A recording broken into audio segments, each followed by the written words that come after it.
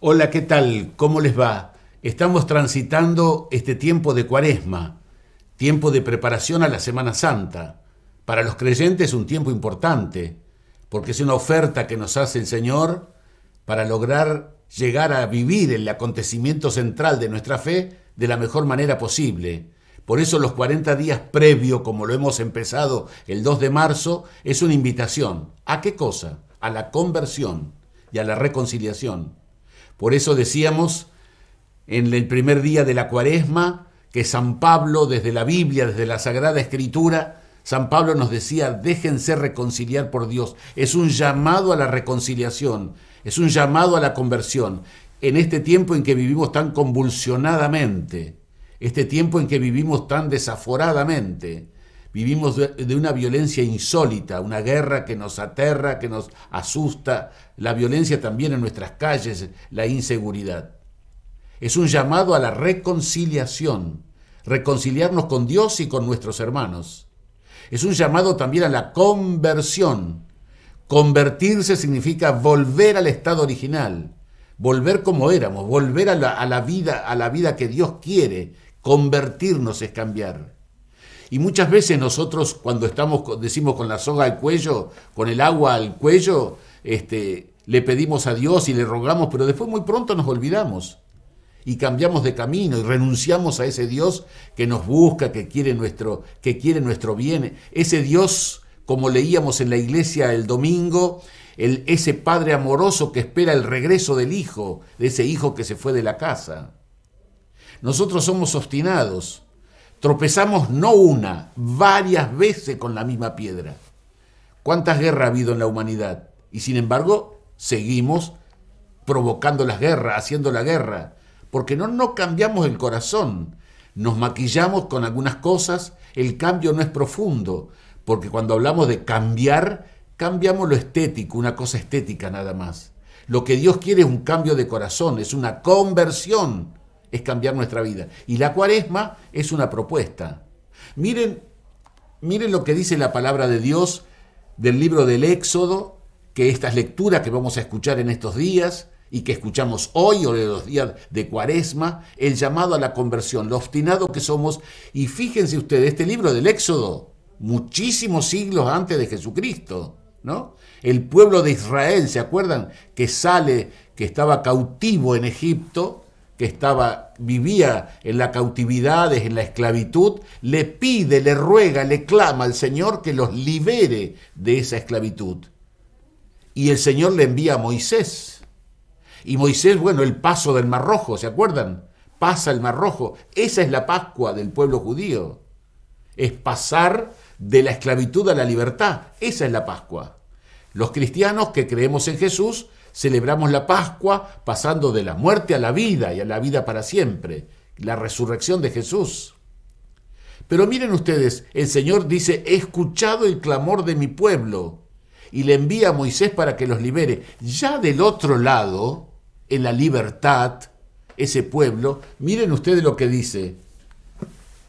Dice, el Señor le dijo a Moisés, Baja enseguida porque tu pueblo, ese que hiciste salir de Egipto, se ha pervertido.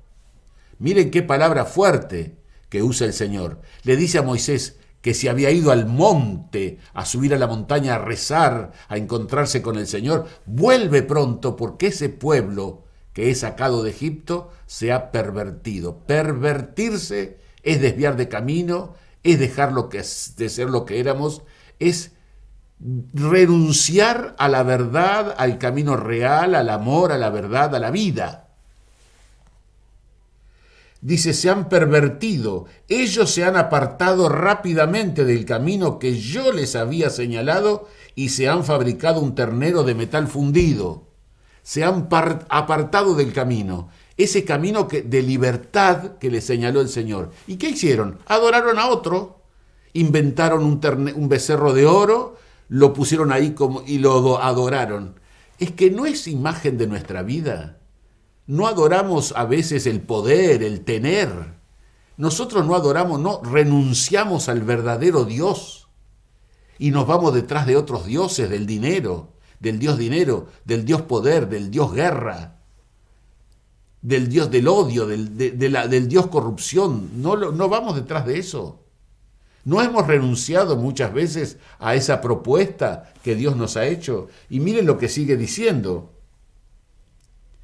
Dice, después se postran delante de él, le ofrecieron sacrificio y exclamaron, Este es tu Dios Israel que te hizo salir de Egipto. Luego siguió diciendo, Yo veo que es un pueblo obstinado, por eso déjame obrar. Mi ira arderá contra ellos y los exterminaré. De ti, en cambio, suscitaré una gran nación.